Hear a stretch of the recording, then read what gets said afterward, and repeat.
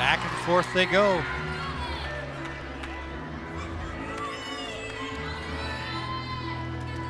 If you watch Raena here, like we said, she's always extremely focused.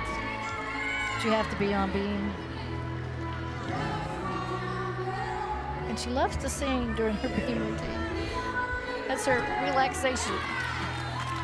The switch side leap series that you just did there, that's a very difficult move because it's a sideward landing and you can't see it. So that's why it has a bonus element. I think Raena's going to be on stage somewhere when she graduates singing.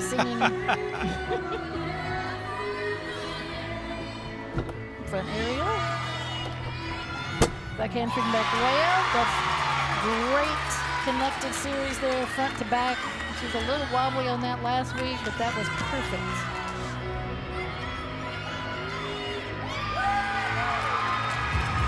The infamous full turn. What she has to do now is bring it home for the cats. And nice routine. Sing it, Raena.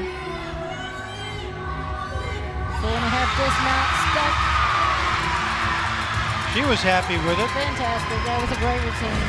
You want your anchor to be there for you. Here's that front aerial, back handspring, back layout. So she's changing direction during that series, and that's a bonus series connection. A full and a half. Stuck, boy, she was pulling with those toes. That's what you want to do. Find that foam in there.